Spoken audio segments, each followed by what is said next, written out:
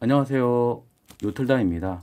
오늘은 입문용 만년필 하나를 언박싱 해보도록 하겠습니다. 만년필 이름은 홍디안 만년필 1850-1851 스타터 세트 EF촉이고요. 가격은 2만원대입니다. 베스트 펜이라는 곳에서 협찬해 주셨고요. 그럼 언박싱을 한번 해볼게요. 이렇게 박스로 구성되어 있는데 열어볼게요 박스를 열면 이렇게 겉종이가 하나 있는데요. 네, 뒷면에 기본적인 만년필 쓰는 방법이 나와 있습니다. 잉크 충전 방법, 필기하는 방식, 펜촉에 대한 설명 그리고 만년필을 세척하는 방법까지. 그러면 안에 우선 만년필을 좀 볼까요? 만년필은 색상이 6가지인가 7가지인가? 그 정도 되는데 스카이 블루색을 선택했습니다. 겉면은 어, 메탈 재질입니다. 메탈. 스카이 블루인데 약간 색이 약간 어두운 스카이 블루네요. 어, 생각보다 느낌이 좀 작다는 느낌이 듭니다. 제가 만년필은 거의 입문자 수준이기 때문에 많이 접해보지는 않았지만 그냥 객관적으로 좀 작다 이런 느낌이 있습니다. 조그마네요. 귀엽네요. 펜 촉은 EF촉, extra fine, 가장 얇은 촉으로 알고 있습니다. 캡을 이렇게 꼽아서 쓰는데 꼽는 느낌은 약간 딸깍 이런 느낌이 아니라 그냥 어, 별 느낌이 없이 꼽히네요. 이렇게 캡을 꼽았을 때 무게중심은 적당한 것 같습니다. 제가 많이 써보진 않았기 때문에 나중에 제가 시필을 좀 해봐야지 알겠습니다. 무게중심은 일단 적당한 것 같아요. 아무래도 만년필이 보통 무게중심이 이 앞쪽보다는 뒤쪽으로 많이 가 있더라고요. 이것도 마찬가지로 무게중심은 약간 뒤쪽으로 가 있습니다. 캡을 빼면 아주 미니멀하게 귀엽게 쓸 수 있겠네요. 일단 만년필은 좀 이따 보고요. 여기에 노트 한번 볼까요? 노트 보기 전에 잉크 잉크가 이렇게 3개가 들어있는데요. 이건 블루 10mm 그리고 이건 블랙 검정색 10mm 그리고 이건 제가 아까 설명을 봤는데 소분용이라고 그래서 약간 가루로 되어 있는 건가? 그런 것 같아요. 이거는 나중에 한번 써봐야 될 것 같아요. 소분용 잉크입니다.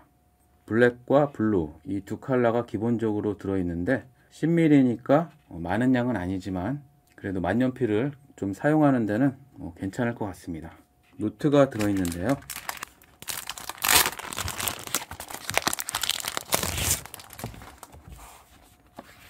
어, 겉 재질이 종이가 아니라 약간 합성 재질이고요. 어, 겉에는 무지, 아 무지가 아니구나. 이거는 돼 있고 이렇게 줄로트로 되어 있습니다. 아니요.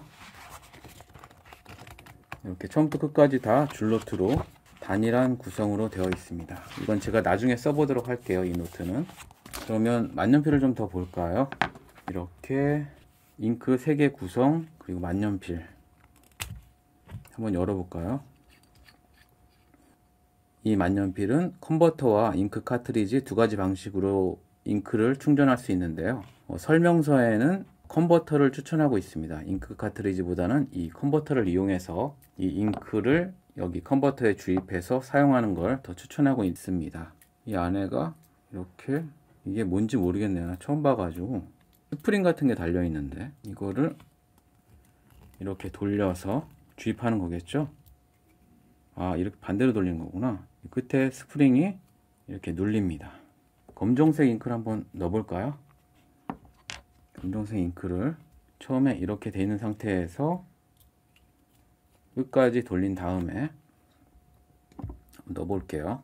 돌려서 잉크를 이렇게 주입합니다 휴지로 좀 닦아주고 바로 연결하면 되겠죠? 저도 만년필을 사용해 본 지가 오래돼서 그냥 꼽으면 될 것 같아요 이렇게. 꼽아서 연결해서 이렇게 연결해서 바로 나오진 않겠죠? 좀 기다려야 되겠죠? 좀 기다려 보겠습니다. 펜촉의 느낌이 좀 딱딱한 느낌이 듭니다. 이 펜촉이 좀 부드럽게 써지는 게 좋을 텐데 이 펜촉은 좀 부드러운 편은 아닙니다. EF촉이요. 아 이제 나옵니다. 한 지금 5분 넘은 것 같은데 어 이 펜촉이 확실히 어, 글씨는 잘 써집니다. 글씨라기보다 이 선은 잘 그어집니다. 어, 펜촉이 좀 부드럽진 않아요. 약간 딱딱한 느낌? 부드럽진 않지만 굉장히 쓰기 불편하지 않습니다. 굉장히 잘 써지는 편이에요.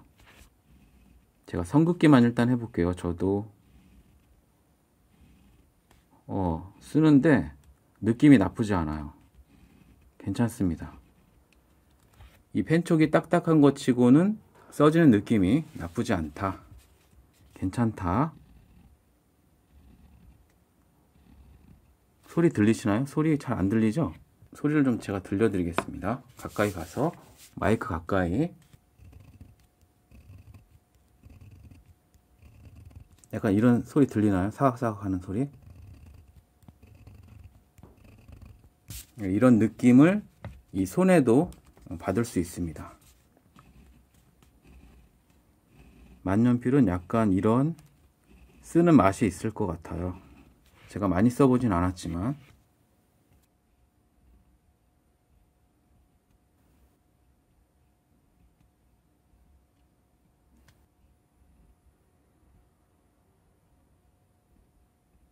저도 처음 쓰는 거라 어, 생각보다 잘 안 써지네요. 그리고 옆에 이게 걸려 가지고 여하튼 입문용 만년필로 나쁘지 않은 것 같습니다. 괜찮은 것 같아요. 써보니까 저는 마음에 드네요.